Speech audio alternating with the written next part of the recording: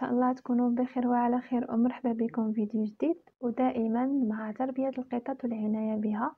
فيديو اليوم غادي يكون خاص بعلاج الفطريات أو التونيا كما كنقولوا بالدارجة. فإن شاء الله غادي نشرح لكم طريقة ديال العلاج اللي كنعتمدها مع القطط ديالي. طريقة هي اللي سهلة وماشي مكلفة.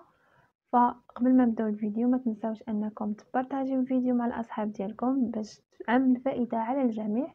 وإلا ما كنتوش مشتركين اشتركوا بالقناة باش العائلة ديالنا تكبر. فكما كتشاهدوا هنا معنا ميمي. ميمي هي كتعاني من مشكل ديال الفطريات.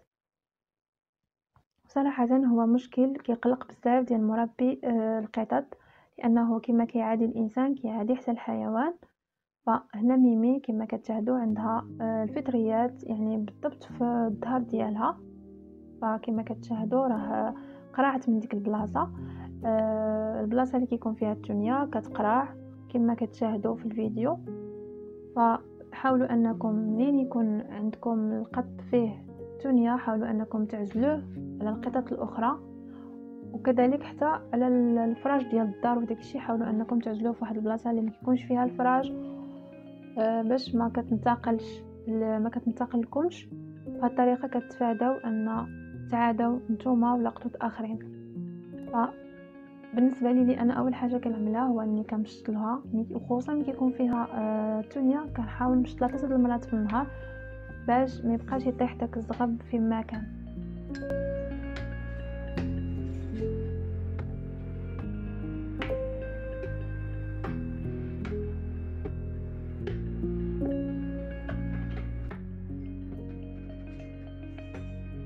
فتاني حاجة هو أنني كنعملها بيتادين بيتادين يعني متوفر عند أي واحد في المنزل ديالو كنحاول نجيب واحد القطينة وكنعمل فيها بيتادين بهذه الطريقة هذه كما كتشاهدوا في الفيديو باش نطهر لها ديك البلاصة اللي فيها تونيا.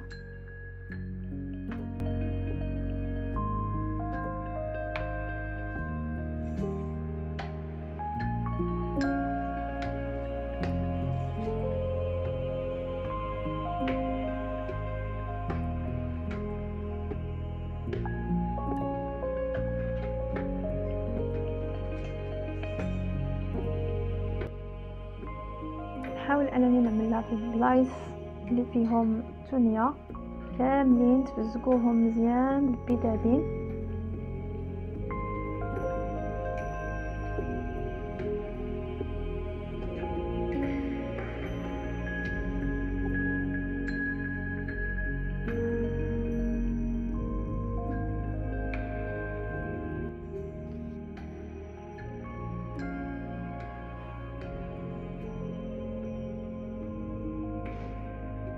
فهنا من بعد ما كملت لها يعني عملت لها بيتادين مزيان في الجلد ديالها.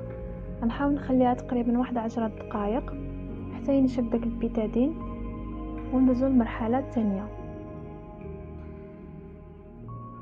ضروري أنكم تعملوا هاد الخطوات لأن هاد الخطوات هما اللي كيسرعوا العلاج.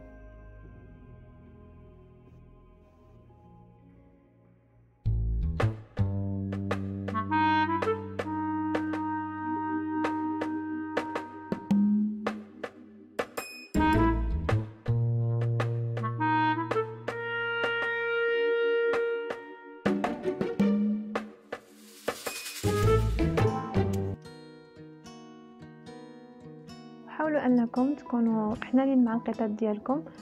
كما كتشاهدوا أنا كنحاول نحكلها وداكشي باش ما تهربليش لأن مع التصوير غنبقى كل ساعة ماشيه من جهه فكنحاول نهدئ نهدئها باش تبقى في البلاصة ديالها.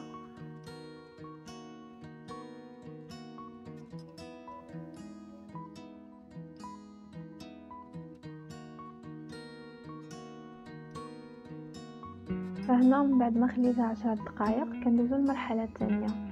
بالنسبة للمرحلة الثانية هنا كنعملوها غريزيو هو مرهم. آه بوماد كاين حتى آه الأقراص يعني كاينات. فأنا كنحاول أنني نعمل لهم غير المرهم لأن كاينات كيدخلوا على طريق الفم وأنا كنتفادى أنني نعطيهم شي حاجة بحال هيدا. فالمرهم حتى هو كيجيب نتيجة الصراحة وكنعتمدوا دائما ملي كيجيهم هاد المشكل الفطريات فهو اللي كيفكني الصراحة. فكما كتشاهدوا أنا عملت واحد الكمية اللي لا بأس بها يعني ما تعملوش غير شويش. تعملوا واحد الكمية لا بأس بها وكتحاولوا أنكم آه تعملوا واحد المساج خفيف لديك البلاصة باش الجلد كيشرب البوماد وكيستافد منه الجلد. وبهذه الطريقة كتشافى بسرعة.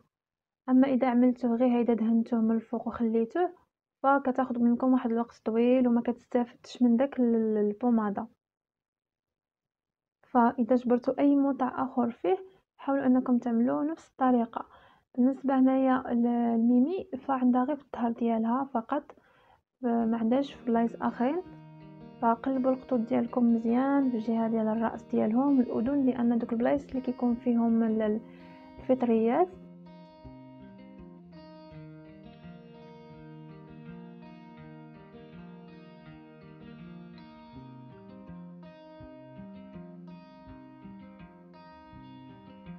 فكما كتشاهدوا مني فرحانه عاجبها الحال بالمازاج